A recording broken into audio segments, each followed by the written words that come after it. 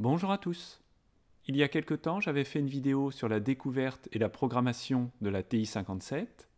Je vous propose dans cette seconde partie d'aller un peu plus loin avec cette machine. Commençons par quelques généralités. Cette machine a été mise en vente à partir de 1977.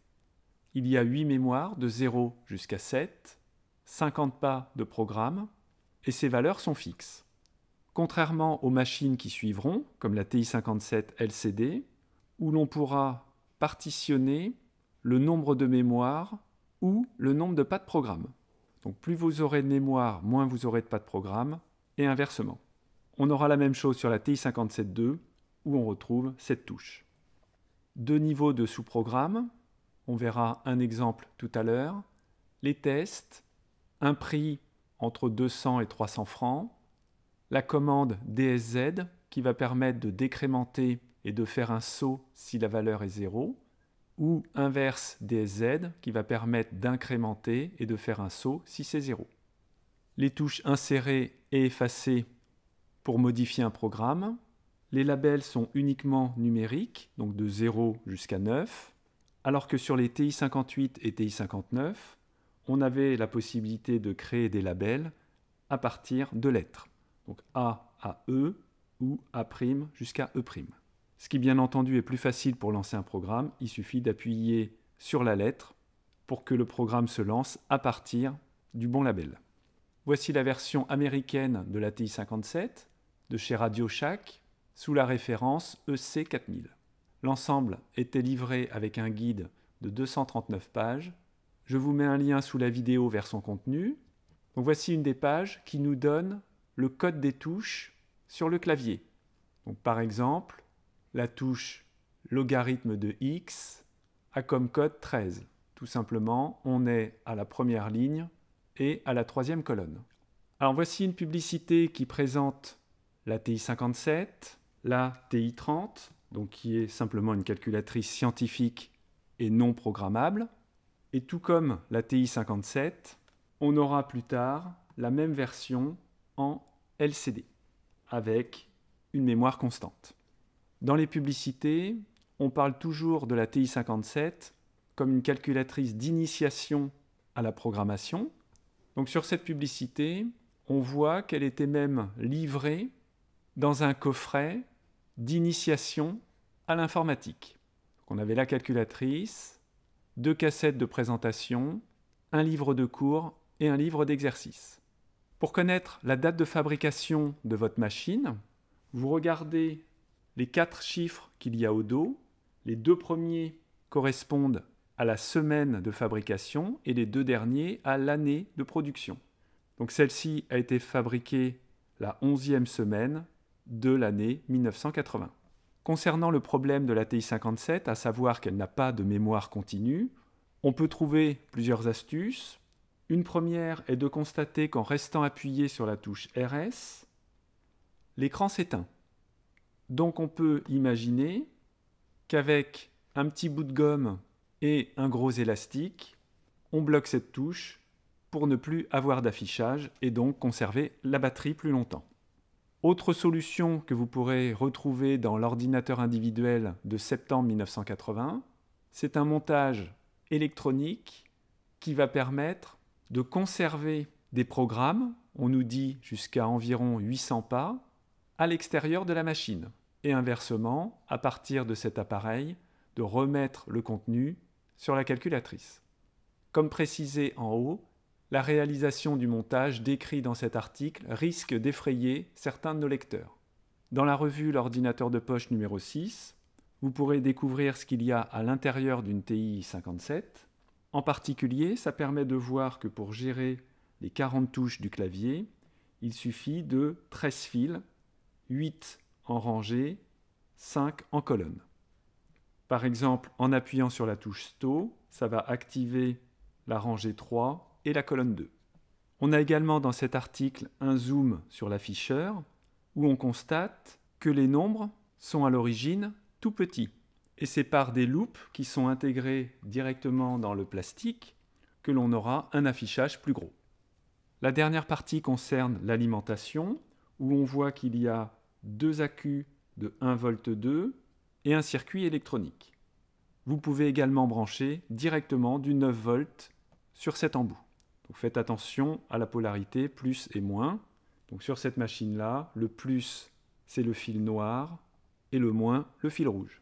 Alors commençons par ce petit programme de jeu très rapide à taper, mais qui va nous montrer comment aller directement à un pas, donc ici le numéro 36, pour rentrer un programme. Donc lorsque j'allume la machine et que j'appuie sur Learn, je suis forcément au pas 0. Donc soit je fais SST 35 fois pour arriver au pas 36, ou GoTo seconde et je tape 36. Remarquez qu'ils ont écrit 26, c'est donc une erreur. Je fais learn et je suis bien au pas 36. Donc le programme, c'était simplement de taper 9.8.7.6.5.4.3.2, EE pour exposant, 1, 0, effacer l'écran et retourner au pas 0. Donc la machine sort toute seule du mode programme puisqu'on est arrivé au pas 50.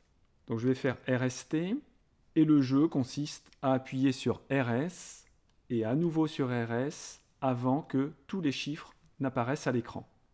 Donc si on essaie, RS, voilà, donc là vous voyez que j'ai loupé, je recommence, RS,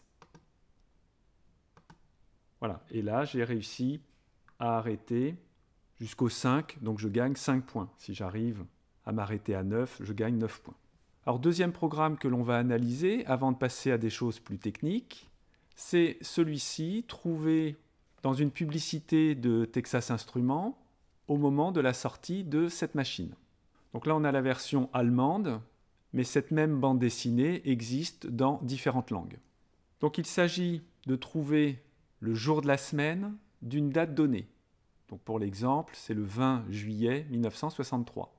Sachant que dimanche c'est 0, lundi c'est 1, jusqu'à samedi qui va être 6, et que les mois commencent en mars. Donc 1 pour mars, 2 pour avril, jusqu'à 12 pour février.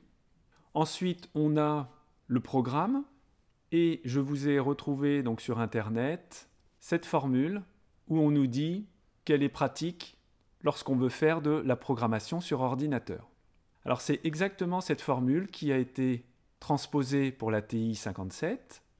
Donc 5 correspond au code du mois de juillet, donc là on a le mois, 20 le jour dans le mois, donc qui est appelé K dans la formule, donc lui sera en mémoire 2, le siècle en mémoire 3 et l'année en mémoire 4. Donc si on commence à lire le programme, on rappelle ce qu'il y a dans la mémoire 2, c'est-à-dire le jour, plus, entre parenthèses, 2,6 fois le contenu de la mémoire 1. Donc 2,6 fois le mois. Donc on a tout le début, K et 2,6 fois le mois. Moins 0,2 parenthèse. Int pour avoir la partie entière, donc qui correspond à flore, on a toute cette partie-là. Ensuite, plus RCL4, qui est donc l'année, divisé par 4, plus l'année. Donc il y a des parenthèses autour de tout ça, ce qui permet de prendre la partie entière. Donc là, on a bien l'année plus l'année divisé par 4, et on prend la partie entière. Plus le siècle divisé par 4, donc siècle divisé par 4, moins ce qui permet d'avoir le siècle divisé par 4 et partie entière. 2 fois le siècle, donc la fin de la formule qui est là, et on rentre maintenant dans une boucle. Plus précisément, on regarde quel est le résultat de tout ce calcul, et est-ce que cette valeur, donc qui correspond au registre X, c'est-à-dire à l'affichage, est supérieure ou égale à T. Donc lorsque l'on fait des comparaisons, c'est toujours par rapport au registre T. Donc registre T, on y accède en appuyant sur la touche XT. Donc lorsque vous allumez la machine, T est égal à 0. Donc si la valeur obtenue est supérieure ou égale à 0, allez à l'étiquette 1, c'est-à-dire un peu plus loin. Sinon, donc si le test est faux, il va sauter cette instruction ajouter 7 et retourner au label 0. Donc on aura à nouveau égal. Donc ça signifie que si le nombre que l'on a obtenu est négatif, on va ajouter 7 tant que ce nombre est négatif. Et une fois que le nombre sera positif ou nul, on arrive au label 1 et on va calculer le modulo 7, c'est-à-dire quel est le reste de la division de ce nombre par 7. Donc on prend le nombre qui à l'affichage, on le divise par 7, on prend sa partie fractionnaire, qui s'écrit inverse seconde int, et cette partie fractionnaire, on la multiplie par 7. Alors on verra tout à l'heure que prendre la partie entière au dernier moment peut être parfois un peu dangereux. Alors la TI-57 n'est pas très rapide, en partie parce qu'elle affiche systématiquement tous les calculs. Par exemple, si je fais plus 1 égale et recommencer, donc RST et je lance, on voit les différents nombres apparaître au fur et à mesure. Alors que si j'écris le même programme sur une TI-58 ou une TI-59, plus 1 égale RST, on voit apparaître un C, mais pas les résultats des calculs. Donc en faisant un petit test, j'ai pu constater que la TI-58 était deux fois plus rapide que la TI-57. Lorsque la calculatrice fonctionne sur sa batterie, et que vous approchez une petite radio ou un talkie-walkie, vous pourrez entendre un son qui ressemble à une petite musique. Malheureusement, les batteries étant mortes sur toutes mes machines, je ne peux pas faire l'expérience. Alors pour voir comment fonctionnent les sous-programmes, je vous propose ce petit exemple. On veut faire un tableau de valeurs de 4 fois x plus 1 lorsque x est entre 3 et 8 avec un pas de 0,5. Donc x vaut 3, 3,5, 4, etc. jusqu'à 8. Pour le fonctionnement, on voudrait pouvoir taper 3, 8, 0,5 et ensuite qu'il nous affiche automatiquement les valeurs. Pour ça, on va utiliser différentes mémoires. On va mettre la valeur minimale dans la mémoire 0, le max dans la mémoire 7. Donc la mémoire 7 correspond au registre T et le pas dans la mémoire 1. Notre programme principal, qui va commencer au pas 5 avec le label 0 va afficher la valeur de x avec une petite pause, exécuter un sous-programme qui va calculer 4x plus 1.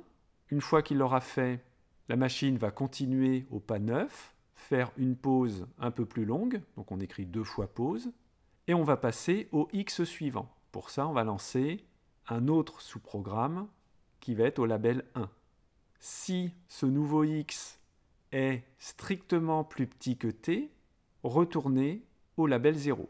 Donc ça veut dire afficher à nouveau x, calculer la nouvelle valeur et augmenter le x. Sinon, allez au label 7, sachant que l'on n'aura pas de label 7 dans notre programme, la machine va clignoter. Donc ça, c'était une astuce pour arrêter un programme en ayant un affichage clignotant. Alors commençons par le sous-programme au label 1. Donc label 1, c'est de récupérer le pas, de l'ajouter à la mémoire 0. Donc sur les versions qui suivront la TI57, on aura sto plus et le numéro de la mémoire. Donc sto plus 0 s'écrivait somme 0 sur la TI57. On rappelle ce qu'il y a dans X et on a la fin de notre sous-programme qui lui dit de retourner au pas suivant du programme principal. Et pour le sous-programme au label 2, on rappelle ce qu'il y a dans X, on multiplie par 4 plus 1 égale, et le sous-programme est terminé. Donc j'ai entré le programme dans la machine, j'appuie sur RST, je tape la valeur de départ, RS, la valeur maximale 8, et le pas 0,5. Donc je vois 3, c'est la valeur de x. Et 4 fois 3 plus 1, ça fait bien 13. Ensuite 3,5. La valeur correspondante, 4, qui va donc donner 17. Etc. Alors voyons comment certains ont réussi à faire des choses étonnantes, comme par exemple afficher les lettres entre A et F sur l'écran de la machine. Cette astuce sera en particulier utilisée dans un programme de jeu que vous pouvez retrouver dans la revue Jeux et stratégie. Bien entendu, je vous mets tous les liens sous la vidéo. Alors essayons d'obtenir à l'affichage le mot décode. Pour ça, on va taper le programme suivant. Donc je fais rst learn qui commence par seconde x, donc qui permet normalement d'échanger le contenu de l'affichage avec une des mémoires. Donc la machine attend une valeur entre 0 et 7. Et nous, on va passer au pas suivant. Ensuite, seconde label 1, 0 RS. Alors ensuite, pourquoi j'ai mis 56, 40, 56 C'est parce que pour obtenir le A, il faudra utiliser 2, le B 3, jusqu'au 7 pour un F. Donc là, j'aurai le D, le E, le C, le O, c'est tout simplement un 0, le D et le E, donc le mot décode. Donc je tape 5, 6, 4, 0, 5, 6, RST. Je sors de là. Alors maintenant, on va répéter plusieurs fois une manip similaire qui va être de sortir du mode learn, RST, RS, RS. Donc on va noter cette manipulation par ce petit carré. Donc je le fais une première fois, RST, RS, RS. Je retourne dans learn. Donc là je suis ici au pas où il y a le 5 et je vais faire inverse seconde 5 je sors du programme, je refais RST, RS, RS, j'appuie sur SST et je vois apparaître un D. Je retourne dans mon programme.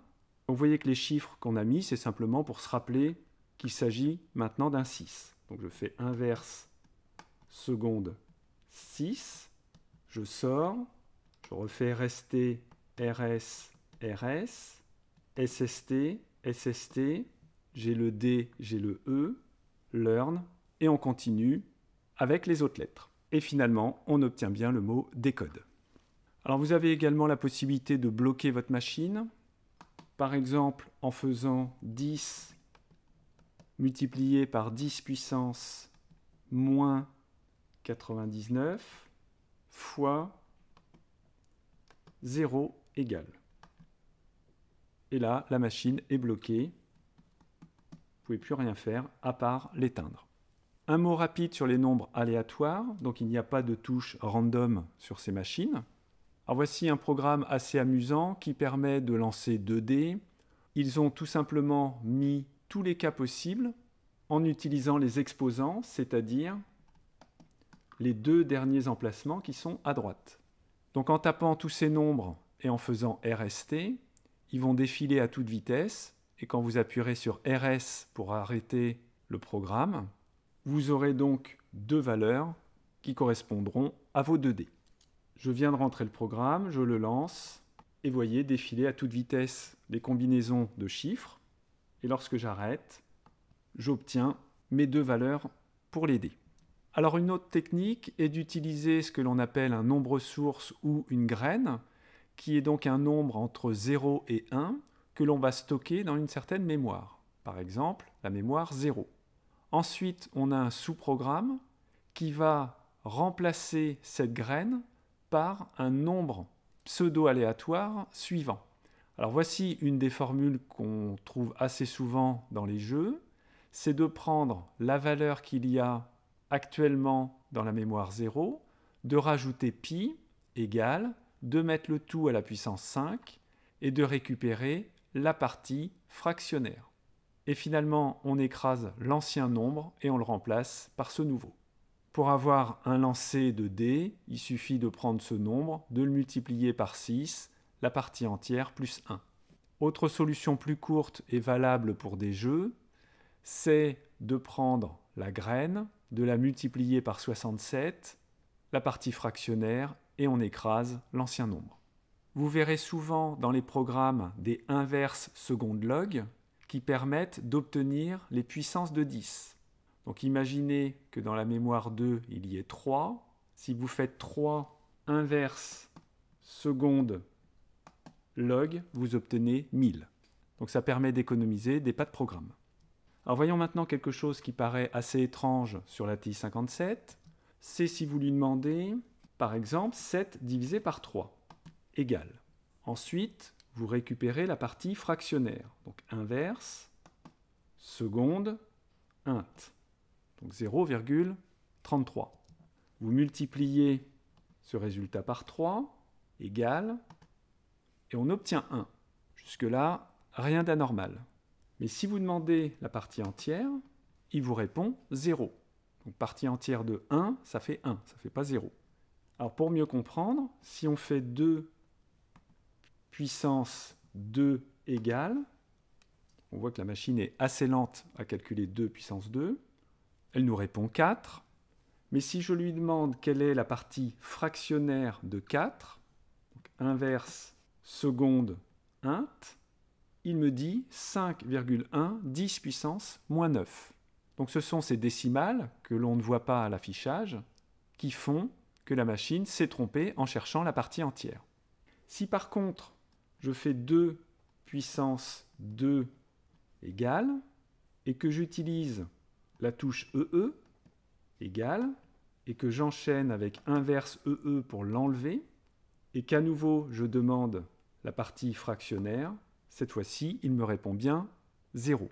Donc la combinaison EE e inverse EE e permet de supprimer les décimales qui ne sont pas à l'affichage. Alors on peut retrouver cette astuce par exemple dans ce jeu tiré de la revue Jeux et stratégie où on avait un nombre, on l'a divisé par 3, ensuite on a pris sa partie fractionnaire que l'on a multiplié par 3, donc ça c'est simplement pour avoir le reste de la division de ce nombre par 3. Et comme ensuite on veut comparer ce nombre avec ce qu'il y a dans la mémoire T, eh bien on va imposer d'enlever les décimales supplémentaires.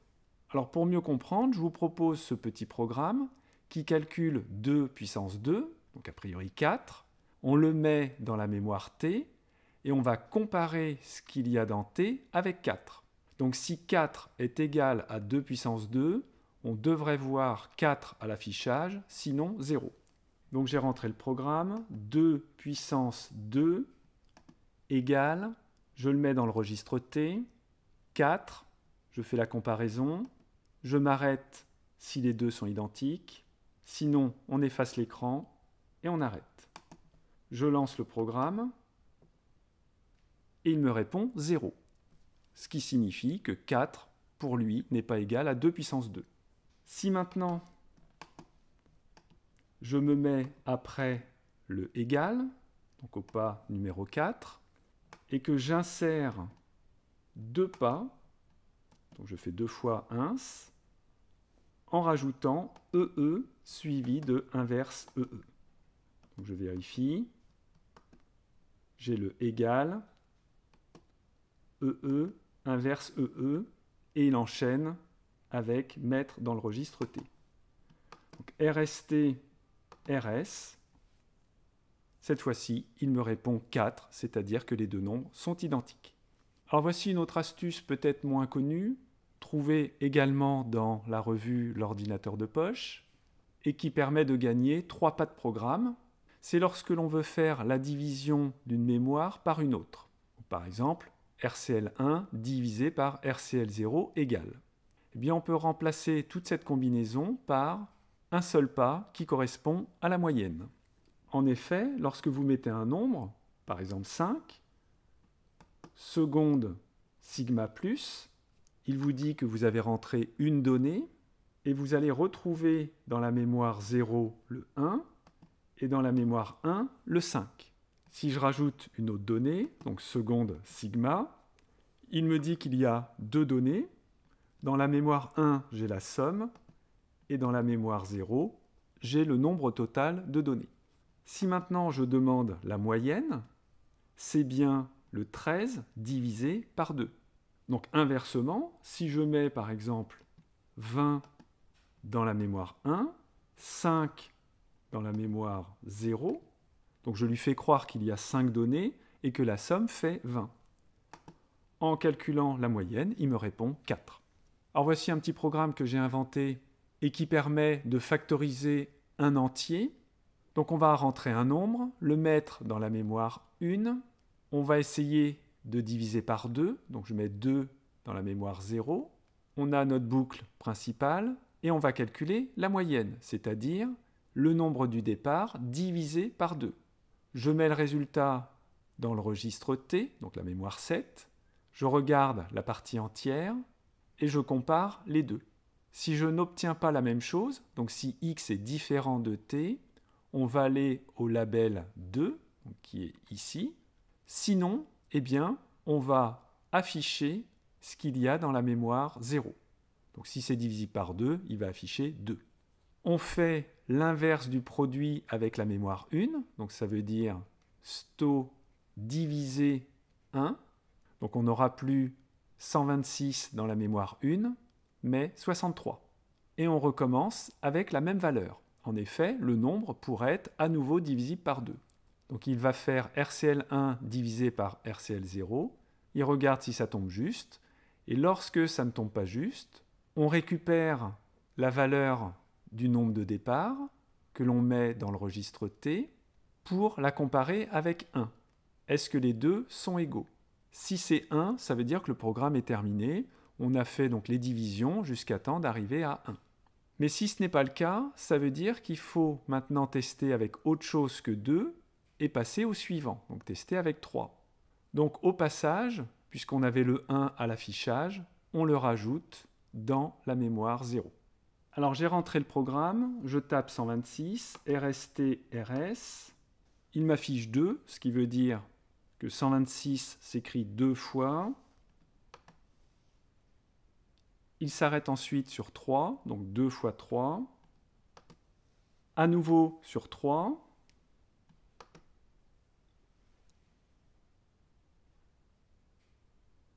Ensuite sur 7.